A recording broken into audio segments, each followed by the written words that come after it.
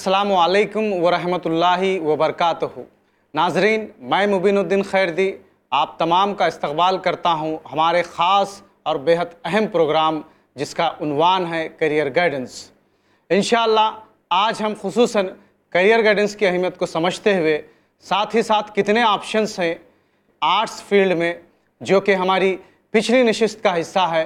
इन आज उस पर तफसीली बहस करेंगे ताकि ज़्यादा से ज़्यादा तलबा को फ़ायदा हो, ज़्यादा से ज़्यादा तलबा कामयाब हो और उनका मुस्तबिल ज़्यादा से ज़्यादा रोशन हो। जैसा कि आपको पता है कि वो तलबा जो करियर गाइडेंस के तहत या करियर प्लानिंग के तहत अपनी स्टडी करते हैं, अल्हम्दुलिल्लाह उनके पास एक वाज गोल रहता है। उनके पास एक क्लियर मकसद, एक क्लियर मंजिल रहती है, जिसका नतीजा ये निकलता है कि वो ना सिर्फ़ स्कूल्स और कॉलेजेस जाते हैं, बल्कि अल्हम्दुलिल्लाह वो रोज़ाना कुछ ना कुछ नया सीखते हैं, जिसकी वजह से उनकी सलाहियतों में काफ़ी इजाफा होता है और उनकी पढ़ाई के अंदर दिलचस्पी भी, अल्हम्दुलिल्लाह, बढ़ जाती है। और जब कभी कैंपस सिलेक्शन की बात आती है या कैंपस सिलेक्शन का मौका आता है, अल्हम्दुलिल्लाह, वो तलबा जो करियर प्लानिंग के साथ, करियर गाइडेंस के साथ स्टडी करते हैं, आसानी से कैंपस सिलेक्शंस में कामयाब हो जाते हैं। कोई भी कोर्स मुकम्मल करने से पहले या कोई भी डिग्री मुकम्मल करने से पहले, अल्हम्दुलिल्लाह, उनको जॉब मिल जाता है। वो भी अपनी पसंद का और अपनी पसंद की इंडस्ट्रीज़ में। ये ऐसे तलबा की निशानियाँ हैं जो करियर प्लानिंग के तहत चलते हैं। तो हम भी चाहते हैं कि आपकी ज़्यादा से ज़्यादा मदद करें। करियर प्लानिंग के तहत ख़ासकर तलबा के लिए ये एक बेहतरीन मौका है और सरपरस्त के लिए भी, जो अपने बच्चों के लिए सुनहरी ख्वाब बूनते हैं। तो शुरुआत करते हैं जनाब। कुछ लोग कहते हैं अक्सर सोसाइटी में, हम लोग पढ़ेंगे तो क्या हासिल होगा? क्या हमें नौकरी मिलेगी? या फिर हमें वो अपॉर्चुनिटीज़ मिलेंगी जो दूसरों को मिलती है? दरअसल ये खौफ, ये गैर यकीनी कैफियत कम इलमी की वजह से होती है। जैसे अल्लाह की सिफ़ात इंसान जब नहीं जानता या पूरे सिफ़ात नहीं जानता, जिसका नतीजा यह है वो मामूली मामूली चीज़ों से डरना शुरू करता है। इसकी वजाहत इन इस बात को क्लियर मैं इस शेर के साथ करूँगा। वो शेर इस तरह से है, आ इम्तिहान का इम्तिहान लें, वो हौसला पैदा कर। आ इम्तिहान का इम्तिहान लें, वो हौसला पैदा कर। आग को जो कर दे ठंडा, वो जज्बा पैदा कर। मसाइल की बातें सभी करते हैं मगर, मसाइल की बातें सभी करते हैं मगर, जो मसले में हल देखे, वो नज़र पैदा कर। जी हाँ ये नज़र जो इस तरीके की गुफ्तु के तहत ख़ास कर लोगों के दरमियान पाई जाती है। मगर एक स्टूडेंट्स वो नज़र अक्सर लोगों के दरमियान जो गुफ्तु के अंदर देखने में आती है या महसूस की जाती है, उसका जवाब इस शेर से मिल रहा है। वो तालब इल्म जो करियर गाइडेंस के तहत करियर प्लानिंग के तहत अपनी स्टडी जारी रखता है, वो बहुत ज़्यादा सक्सेस और बहुत ज़्यादा कामयाब होता है। तो शुरुआत करते हैं नाजरीन आर्ट्स के ताल्लुक़ से। पिछली नशस्त में मैं आपको साइंस के मुतालिक आर्ट्स के मुतालिक और कामर्स के मुतालिक अल्हम्दुलिल्लाह बता चुका हूँ। उससे पहले मुकम्मल टेक्निकल कोर्सेज के बारे में भी अल्हम्दुलिल्लाह आपको जानकारी दी गई है। अब हम शुरुआत कर रहे हैं आर्ट्स से। पीयूसी आर्ट्स में जनरली अक्सर सोचा जाता है या देखा जाता है कि पीयूसी आर्ट्स करने के बाद ज़्यादा स्कोप्स नहीं है। ये दरअसल गलतफहमी है या फिर कहिए कम इल्मी है। इसी कम इल्मी या गलत फहमी को दूर करने के लिए खसूस आज इन मैं आपके सामने आर्ट्स के ताल्लुक से कुछ बातें और बिल्कुल अहम बातें शेयर करूँगा। तो क्या आप तैयार हैं जनाब? जी thank you very much PUC arts करने के बाद आपके पास बेहद और बहुत ज़्यादा अपॉर्चुनिटीज़ हैं। इसीलिए प्रोग्राम को ख़ास कर ध्यान से देखिएगा, क्योंकि कुछ लम्हे ऐसे होते हैं जिससे हमारी ज़िंदगी अल्हम्दुलिल्लाह बदल जाती है। तो शुरुआत करते हैं पीयूसी आर्ट्स से। पीयूसी आर्ट्स करने के बाद पहला जो बेहतरीन मौका आता है, वो है अल्हम्दुलिल्लाह टीचिंग फ़ील्ड का। जी हाँ पीयूसी आर्ट्स के ज़रिए आप कोई भी टीसीएच में या फिर डीएड में एडमिशन लेकर अपना career as a primary teacher शुरू कर सकते हैं। खसूस हिंदुस्तान के मुसलमानों को, एशिया के मुसलमानों को एक्सपर्ट्स और एक दर्दमंद दिल रखने वाले इस की सख्त ज़रूरत है। तो आप अपना career as a primary teacher शुरू कर सकते हैं। प्राइमरी टीचर बनने के लिए आपका पीयूसी पास होना ज़रूरी है। साथ ही साथ उसके बाद दो साल कोर्स आता है, जिसको हम डी या फिर हम उसे टीसीएच कहते हैं। अल्हम्दुलिल्लाह, ये कोर्स करने के बाद गवर्नमेंट की तरफ़ से एक ख़ास टेस्ट या फिर एग्ज़ाम्स होता है और उस एग्ज़ाम्स में जो तलबा पास होते हैं, वो अपॉइंटेड हो जाते हैं या उनको अपॉइंट किया जाता है एज ए गवर्नमेंट टीचर्स फिर उनका करियर टीचिंग फील्ड्स में अल्हम्दुलिल्लाह शुरू होता है। जो ही आपका अपॉइंटमेंट एज ए टीचर होता है तो अल्हम्दुलिल्लाह, सुम्मा अल्हम्दुलिल्लाह, कम से कम 19 से बीस हज़ार तनख्वाह सालारी आपकी शुरू हो जाती है। अगर कोई लड़का टेंथ या पीयूसी फेल हो जाता है, आपको मालूम है, कोई छोटे मोटे काम करके ज़िंदगी का गुज़र बसर होता है। मगर आप टीचर बनेंगे तो ज़ाहरी बात है, आपका रोल सोसाइटी के अंदर बहुत ज़्यादा बढ़ जाएगा। इसलिए बढ़ जाएगा कि अल्लाह के रसूल सल्लल्लाहु अलैहि वसल्लम का फरमान आलिशान है। आप सल्लल्लाहु अलैहि वसल्लम फरमाते हैं कि मैं मुअल्लिम बनाकर भेजा गया हूँ। तो टीचिंग एक बेस्ट एंड ग्रेट अपॉर्चुनिटी है उन लोगों के लिए जो कुछ करना चाहते हैं। मैं बता रहा था टीचर कैसे बने, खासकर प्राइमरी बताइएगा कैसे बने? जी हाँ पीयूसी आर्ट्स करने के बाद आप डीएड कर सकते हैं। डीएड के बाद आपका करियर शुरू होता है एज ए टीचर और मंथली आपकी जो सैलरी रहती है, अल्हम्दुलिल्लाह 19 से बीस हज़ार रुपये शुरू आती है। ये बात थी जनाब, सिर्फ़ पीयूसी के बाद डीएड की। इसके अलावा भी आप एसडीसी के लिए टीसी के लिए खसूस रेलवे में, इसी तरह कंडक्टर्स के लिए, ट्रांसपोर्ट डिपार्टमेंट में, और 37 टू 42 डिपार्टमेंट्स स्टेट के हैं, उसके अंदर भी आप क्लरिकल जॉब आसानी से हासिल कर सकते हैं। मगर शर्त यह है कि आप करियर प्लान करके पढ़ाई करें। करियर प्लान करके अगर पढ़ाई करेंगे तो इन नाकामी का ख़तरा टल जाएगा और इसी तरह बेहतरीन जॉब आपके मुंतज़र इन नज़र आएँगे। तो ये बात थी प्राइमरी टीचर के मुतालिक। अब मैं आगे बढ़ता हूँ थोड़ा और आता हूँ बीए की तरफ़। बैचलर ऑफ़ आर्ट्स ये तीन साल कोर्स है। ये तीन साल कोर्स करने के बाद इन आप एक ग्रेजुएट कंसिडर होते हैं। बीए कंप्लीट करने का पहला बड़ा एडवांटेज ये है कि आप एमएलसी खासकर जो ग्रेजुएट्स के लिए होता है, उसके आप कैंडिडेट भी बन सकते हैं। उसी तरह उस इलेक्शन में आप किसी को वोट भी दे सकते हैं। ये फ़र्स्ट एडवांटेज है आपका बीए करने के बाद। इसी तरह बीए करने के बाद ऑप्शंस आपके लिए, मेरे लिए बहुत ज़्यादा हैं। गौर से सुनिएगा इसलिए कोई और फ़ील्ड में जाके उस फ़ील्ड के नाकाम स्टूडेंट बनना या थर्ड क्लास स्टूडेंट बनने से बेहतर है कि आप आर्ट्स के बारे में सीरियस रहें, खासकर इस बारे में सोचें। तो बीए आर्ट्स करने के बाद आप एमए कर ले सकते हैं। एमए के बाद अलहमदिल्ला आप पीएचडी कर सकते हैं। पीएचडी करने के बाद आपको प्रोफेसर कम से कम जॉब मिलता है और या फिर एमए में आपका सिलेक्शन होता है। फॉर एग्ज़ाम्पल कोई लड़का एमए हिस्ट्री है और एम एजुकेशन है एम ए साइकोलॉजी है एम ए इकनॉमिक्स है एम ए सोशोलॉजी है एम ए जियालॉजी है M A in the languages है, जो पूरे इंडिया के लैंग्वेजेस हैं। इनमें अगर कोई लड़का एम ए की डिग्री हासिल कर लेता है तो अल्हम्दुलिल्लाह, सुम्मा अल्हम्दुलिल्लाह, उसका करियर शुरू होता है एज ए असिस्टेंट प्रोफेसर्स जी हाँ एज ए असिस्टेंट प्रोफेसर से इस बारे में इंशाल्लाह मैं डिटेल थोड़ी देर से बताऊँगा। इसी तरह दूसरा जो ऑप्शन आपके पास आता है बीए करने के बाद आप एमबीए कर सकते हैं और एमबीए करने के बाद आप और आगे अगर पढ़ना चाहें तो पीएचडी भी एमबीए के बेस पे आप दाखिला ले सकते हैं। क्यों? वजह क्या है? उसकी बुनियादी वजह यह है कि एमबीए करने के लिए आपके पास इकोनॉमिक याद से सुनिएगा इकोनॉमिक सब्जेक्ट आपके पास होना कंपलसरी है बीए के ऑप्शनल सब्जेक्ट्स में। यानी बीए में जो मेन सब्जेक्ट हैं उसमें अगर आपका एक इकोनॉमिक सब्जेक्ट है, तब आप आसानी से, अल्हम्दुलिल्लाह एमबीए कर सकते हैं, कोई भी यूनिवर्सिटी से, और उसके बाद आप अपना करियर मैनेजमेंट में आसानी से शुरू कर सकते हैं। इसी तरह सोशल सेक्टर्स के अंदर भी आप आसानी से एंट्री ले सकते हैं। शर्त यह है मेरे अज़ीज़ कि आप बेहतरीन प्लानिंग के साथ जाएँ। क्यों? किस वजह से? दुनिया के अंदर वो लोग बहुत ज़्यादा कामयाब होते हैं, जो अपने एक एक लम्हे का एक एक लम्हे का, अल्हम्दुलिल्लाह, हिसाब रखते हैं। आपको भी मालूम है, आपने पढ़ा ही होगा कि कुरान शरीफ के अंदर अल्लाह ताला कहता है कि हम जिसने ज़र्रा बराबर बुराई की या ज़र्रा बराबर अच्छाई की, उसका हिसाब लिया जाएगा। एक हदीस शरीफ है, उस हदीस का मफहम कुछ इस तरीके से है। अल्लाह के रसूल सल्लल्लाहु अलैहि वसल्लम फरमाते हैं कि दो सिंग वाली बकरी अगर एक सिंग वाली को मारी तो उसका भी हिसाब लिया जाएगा।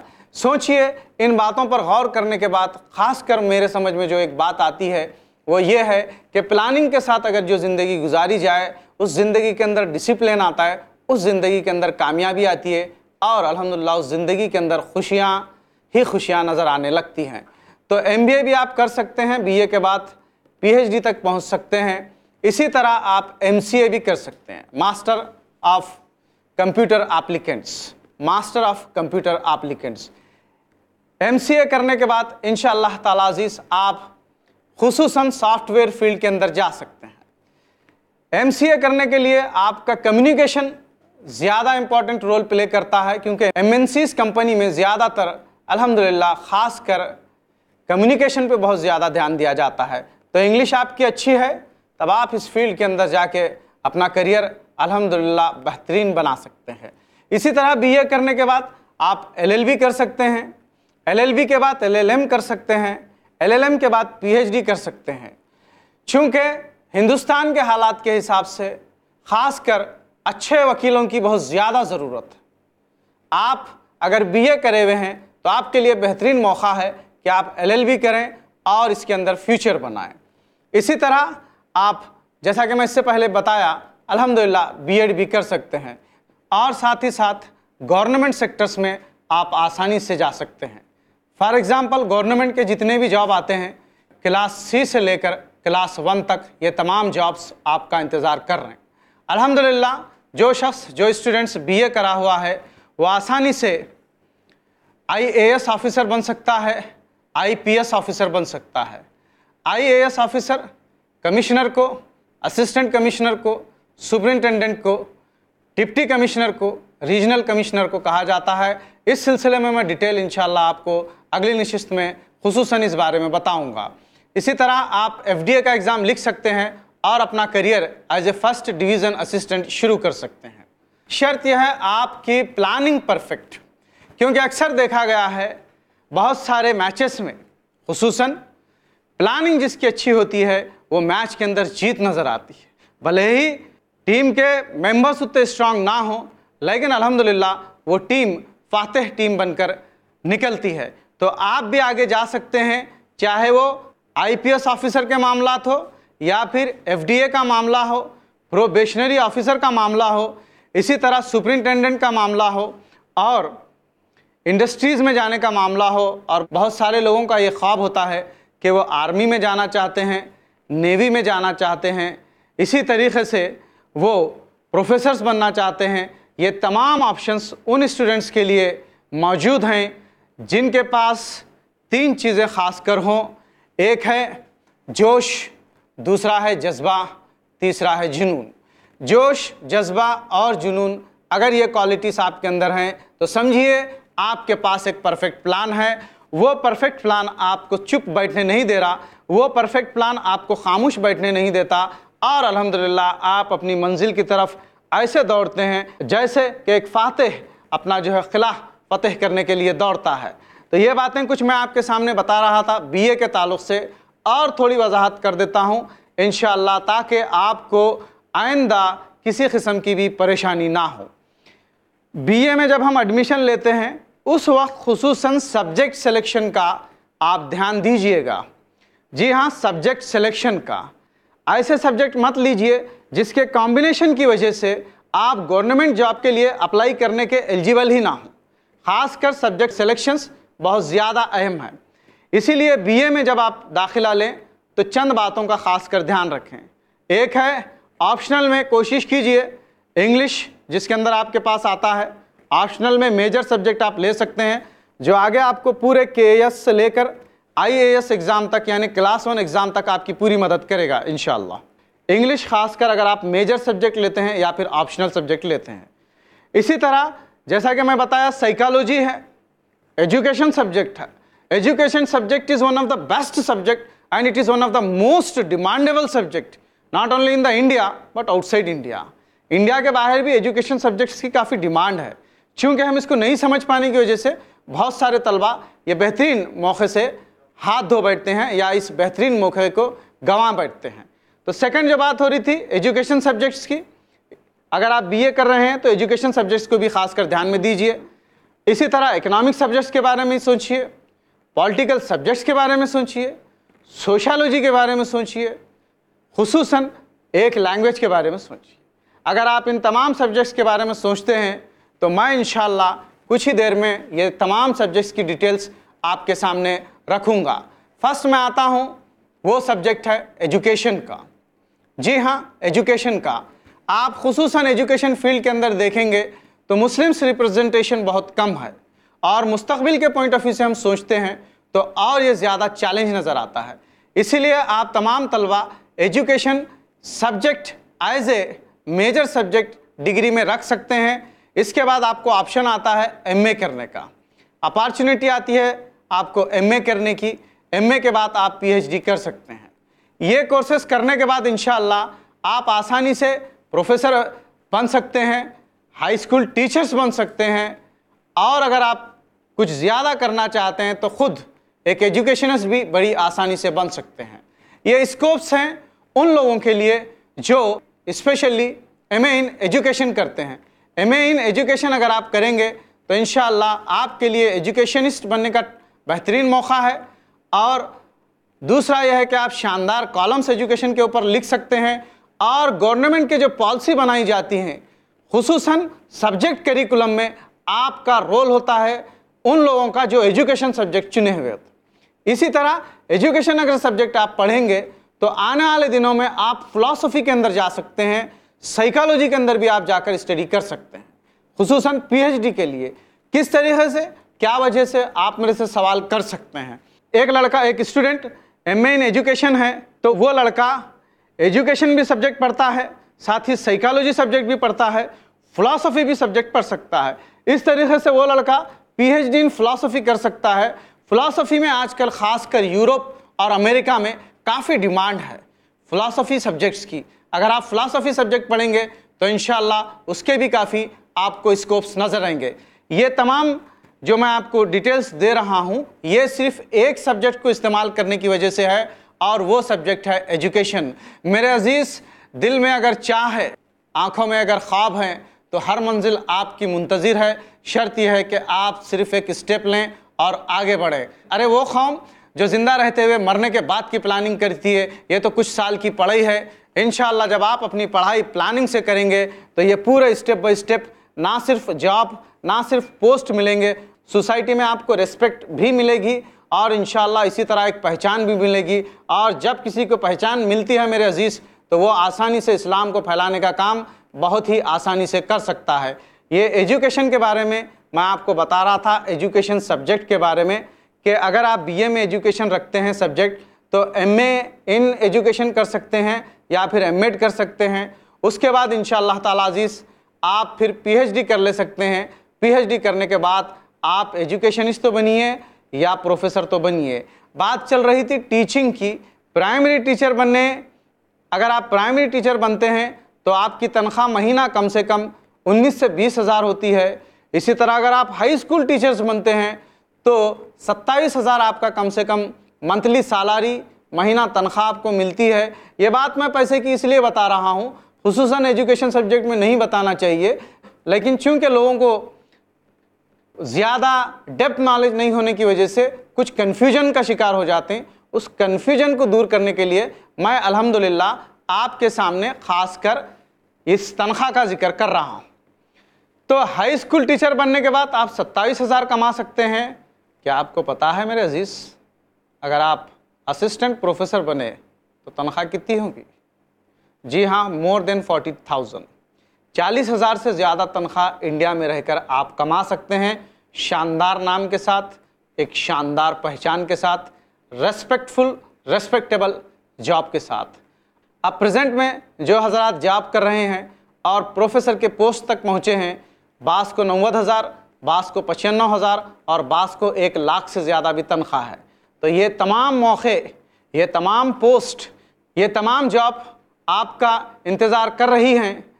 उन लोगों के लिए जो स्कूल्स में पढ़ रहे हैं और कॉलेजेस में पढ़ रहे हैं, मेरी ये एक खसूस दर्द, मंदाना अपील है पेरेंट्स से कि जिस तरह वो अपने जॉब के बारे में सोचते हैं, बच्चों के फ्यूचर के बारे में सोचते हैं तो मेरा मशवरा है कि आप उनकी करियर प्लानिंग के साथ सोचिए, तब देखिएगा आप इन कभी शिकायत करते हुए नज़र नहीं आएँगे कि मेरा बच्चा स्कूल नहीं जा रहा है, बल्कि आप बोलेंगे, मेरा बच्चा जब से करियर गाइडेंस की क्लास खसूस या करियर प्लानिंग करा है तो उसे गोल मिल गया है और गोल मिलने की वजह से टीन एज खसूस तेरह साल से उन्नीस साल, ये एज ऐसी है जिसमें गोल अगर किसी को मिल जाए तो इन वो अपने मकसद को आसानी से हासिल कर सकता है।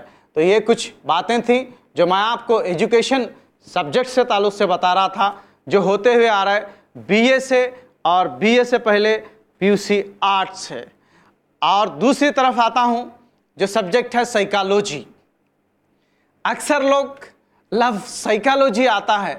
या साइकोलॉजी सुनते हैं तो उनका दिमाग पता नहीं क्या हो जाता है और वो क्या रिएक्ट करना शुरू कर साइकोलॉजी नफ्स, हमारा नफ्स। इसकी स्टडी जो की जा रही है, हमारी अक्ल हमारी विजडम और हमारे बॉडी का रिएक्शन जो है, ये दोनों की जो स्टडी की जा रही है विजडम एंड सोल की। इसका नाम साइकोलॉजी है। साइकोलॉजी सब्जेक्ट एक ऐसा है जो छुपा हुआ है, मगर इसके डिमांड्स गैर मामूली हैं। अल्हम्दुलिल्लाह इसकी डिमांड्स क्राइम ब्रांच तक में है, और अल्हम्दुलिल्लाह इसकी डिमांड्स अब तो रोज़ बरोज़ ज़्यादा बढ़ती जा रही है। उसकी बुनियादी वजह यह है कि हमारी ज़िंदगियों में कॉम्पिटिशन ज़्यादा से ज़्यादा हो रहा है तो स्ट्रेस बढ़ रहा है। स्ट्रेस बढ़ने की वजह से ज़्यादा से ज़्यादा लोग अपने प्रॉब्लम सॉल्व करना चाह रहे हैं तो वो किसी काउंसलर से मीट करते हैं।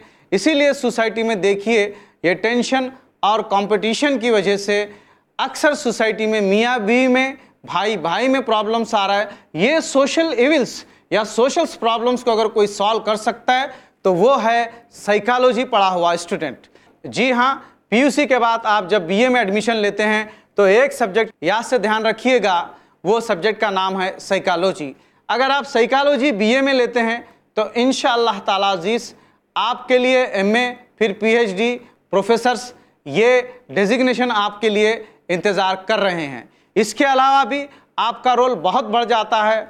सोसाइटी के अंदर आप as a counsellor helping hand social development personality ये आप आसानी से बन सकते हैं। ये बनने के लिए आपके लिए ज़रूरी है कि आप MA in psychology PhD in psychology करें तो इन आप आसानी से सक्सेस होकर अपना career as a counsellor society के अंदर शुरू कर सकते हैं। सवाल फिर वही आता है, ठीक है, हम साइकोलॉजी पढ़ेंगे, पढ़ने के बाद तनख्वाह का मामला क्या है? ठीक है, हम साइकोलॉजी पढ़ेंगे, लेकिन पढ़ने के बाद तनख्वाह का मामला क्या है? तो शुरुआत अगर आप एज ए काउंसलर करेंगे कम से कम प्राइवेट में आपको पंद्रह हज़ार स्टार्टिंग सैलरी नहीं, बल्कि आपकी ज़ाती इनकम शुरू होगी और दो से ढाई लाख आप आसानी से कमा सकते हैं। शर्त यह है कि प्लानिंग करे हुए अगर आप हैं तो ये फ़ील्ड के अंदर जाकर बहुत कामयाब हो सकते हैं। आर्ट्स के ताल्लुक से भी बहुत कुछ बोलना है मेरे अज़ीज़।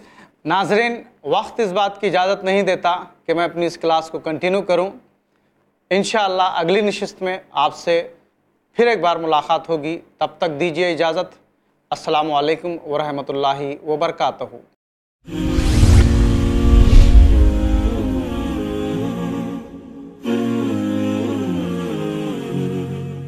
अस्सलाम वालेकुम वरहमतुल्लाहि वबरकatuh मोहतरम नाजरीन इकराम, अभी आपने करियर गाइडेंस के इस एपिसोड में हमारे भाई मुबीनुद्दीन खैरदी से आपने सैलरी के बारे में सुना।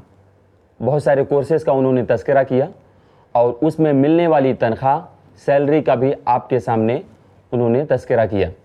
मैं आपसे ये कहना चाहता हूँ कि आप अपनी सैलरी के बारे में बहुत ज़्यादा परेशान ना हो। आप अपनी सैलरी को लेकर के बहुत ज़्यादा फ़िक्रमंद ना हो, क्योंकि अल्लाह के रसूल सल्लल्लाहु अलैहि वसल्लम ने इरशाद फरमाया जब इंसान अपने माँ के पेट में होता है तो उसके रोज़ी के बारे में लिख दिया जाता है। और एक दूसरे रवायत के मुताबिक मैं आपको बताऊँ कि अल्लाह के रसूल सल्लल्लाहु अलैहि वसल्लम ने फरमाया, ला तमूतु नफ्सुन हत्ता यस्तकमिल रिज़्क़हा। इंसान की वफ़ात उस वक्त तक नहीं होती है, यहाँ तक कि वो अपने रिस्क को मुकम्मल कर ले, अपने रिस्क को हासिल कर ले। लेकिन मैं इस बात को हरगिज़ नहीं कहना चाह रहा हूँ कि आप रोज़ी को तलाश ना करें। बल्कि मैं इस बात की मजम्मत करता हूँ कि कोई अपने हाथ पे हाथ धरे बैठे रहे और ये चाहे कि रोज़ी उसको आसमान से उतर के आएगी। तो बल्कि मैं ये कहना चाहता हूँ कि आप रोज़ी तलाश करें। आप रोज़ी के लिए कोशिश करें, मेहनत करें, अपनी रोज़ी कमाने की कोशिश करें। अल्लाह ताला ने कुरान मजीद के अंदर इरशाद फरमाया फ़ब तगु इंदल्लाह रिस्क तुम अल्लाह के पास अपने रोज़ी को तलाश करो। एक दूसरी जगह पर अल्लाह रब्बुल आलमीन ने इरशाद फरमाया लईसा अलैकुम अन तब तगु फजलम मिर रब्बिकुम। तुम्हारे ऊपर कोई गुनाह नहीं है कि तुम अपने रब के फजल को तलाश करो, इसमें तुम्हारे ऊपर कोई गुनाह नहीं है। लेकिन मैं कहना यह चाहता हूँ कि आप रोज़ी कमाने के सिलसिले में, रोज़ी कमाने के लिए, सैलरी के लिए आखिरत को ना भूल जाएँ। रब के आज़ाब को दावत ना दें। अल्लाह रब्बुल आलमीन की नाफरमानी ना करें, बल्कि अल्लाह रब्बुल आलमीन के हुकूक की अदायगी करने के साथ साथ आप रोज़ी को हासिल करें। अल्लाह रब्बुल आलमीन के हुकूक की अदायगी के साथ साथ आप रोज़ी कमाएँ और तलाश करें, जैसा कि अल्लाह रब्बुल आलमीन ने सूर्य जुमा के अंदर इरशाद फरमाया फ़ैदा कुजियत सलात फ़न तशरू फ़िल अर्द वब मिन फजल्ला जब आप नमाज़ मुकम्मल कर लें तो रब की ज़मीन में फैल जाएँ। आप यहाँ गौर करें कि अल्लाह रब्बुल आलमीन ने कहा कि अल्लाह के हुकूक के बाद, यानी नमाज़ आपने मुकम्मल कर ली, अल्लाह के हुकूक की अदायगी कर ली फ़न तशरू फ़िल अर्द ज़मीन में फैल जाओ, ज़मीन में फैल जाओ वब तगु मिन फजल्ला अल्लाह के फजल को तलाश करने के लिए। आप गौर करें कि अल्लाह रब्बुल आलमीन ने पहले अपने हुकूक की अदायगी का ज़िक्र किया। आप जब अल्लाह रब्बुल आलमीन के हुकूक की अदायगी कर लो, यानी नमाज़ पढ़ लो तो फ़न तशरू फ़िल अर्द वब तगु मिन फजल्ला तुम रब की ज़मीन में फैल जाओ और अपने रब के फजलों को तलाश करो। दुनिया कमाना बुरा नहीं है। दुनिया हासिल करने के लिए तगोदो करना बुरा नहीं है। बल्कि बुरा उस वक्त है जब आप इस्लाम को छोड़ करके दुनिया कमाने की कोशिश करें। जब आप इस्लाम को बालाए ताक रख करके दुनिया हासिल करने की कोशिश करें। आप इस्लाम के कवानीन को तोड़ करके रिस्क हासिल करने की कोशिश करें। शरीयत के कवानीन को फलांग करके रिस्क हासिल करने की कोशिश करें। इसमें बुरा है। इसमें रब की नाराज़गी है। इसमें रब के अज़ा को दावत देना है। तो मेरे मोहतरम नाजरीन, आप रोज़ी तलाश करें, लेकिन रब्बुल आलमीन की चाहत के मुताबिक, रब्बुल आलमीन के शरीयत के मुताबिक। रब्बुल आलमीन के बनाए हुए उसूलों के मुताबिक रिस्क को हासिल करने की कोशिश करें। बस मैं अपनी बात को यहीं पर ख़त्म करूँगा और अल्लाह रब्बुल आलमीन से दुआ गो हूँ कि बार इलाहा हम तमाम लोगों को कहने सुनने से ज़्यादा अमल करने की तोफ़ी अता फरमा अल्लाह, हम तमाम लोगों को रिस्क को हलाल तरीके से कमाने की तोफ़ी अता फरमा अल्लाह, हम तमाम लोगों को रिस्क हासिल करने का जो उसूल, जो शरीयत ने बयान किया है, उसके मुताबिक हासिल करने की तोफ़ी अदा फरमा। आमीन। वाखिर दावाना अनिलहमदिल्ला रबालमीन अल्लाम वरहमल वर्का